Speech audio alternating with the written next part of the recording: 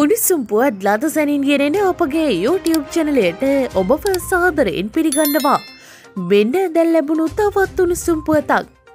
මණ්ඩාර වූ මණ්ඩාරම උපුකුලම් ගොන්තඩිප්පි ප්‍රදේශයේදී වසර හතරිස් පාකට වඩා පැරණි අම්බලන තත්වය පැවති පානීය ජල ටැංකියක් ජනතාවගේ ආරක්ෂාවෙනුවෙන් පුපුරවා බිබෙහෙලීමට යුද්ධ හමුදා විසින් පියවර ගනු ලැබවා.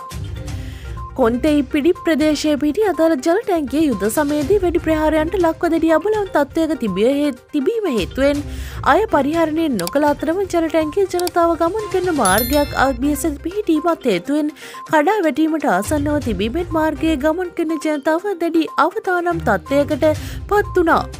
එපිළිබඳ ගම්වාසි නිසින් ප්‍රදේශය ග්‍රාම නිලධාරී මාර්ගෙන් මන්නාරම් දිස්ත්‍රික් ලේකම් කාර්යාලයට දැනුම් දීමෙන් අනතුරුව දිස්ත්‍රික් ලේකම් කාර්යාලය හරහා මන්නාරම් පනස් සතර සේලාංකය වෙත දැනුම් දින ලැබීය.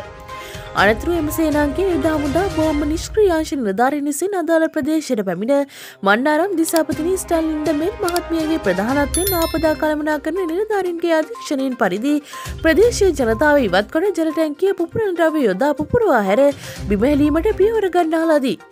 මේ අතර ජලටැන්කිය බිම පතිතවීමෙන් අනතුරුව එහි තුළ සිටි තා දුර්ලභ ගණයේ බකමූනෙකුද බේරාගෙන මන්නාරම් වනචී නිලධාරීන්ට බාරදීමට ගම්වාසින් පියවර ගන්නාලාදී.